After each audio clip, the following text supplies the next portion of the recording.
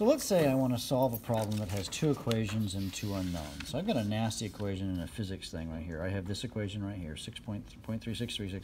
I've got this thing called VH, and it's squared. It's kind of a nasty equation I want to use the solver. So how would I do that? So I pull out the, uh, the, the TI CAS here. I'm going to go to the math button, no, the menu button, and I'm going to go down to algebra, and I'm going to choose the solve button. So I have solve, and now what I need to do is I need to type in that equation. Let's see if we can get that equation here. We can see the equation that I want to solve. So the, call, the equation, it's going to be, you see that 6.36, so 6.36 equals, so the equals button is here. I'm just typing the equation as it stands, equals 0.275. And I have VH there because it represents the velocity, so but I'm just going to say X to make my life much, much easier. So I'll say X, and I'm going to square it, plus 0.105.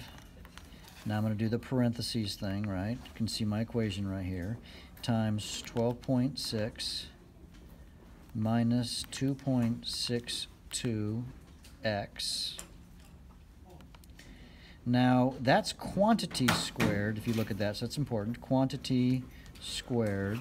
And now I want to say comma. The comma is a button kind of down here at the bottom, comma. And then I'm going to say x.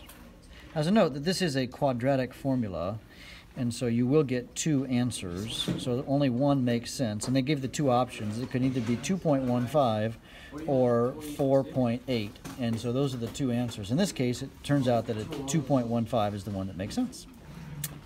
That's how you use a solver.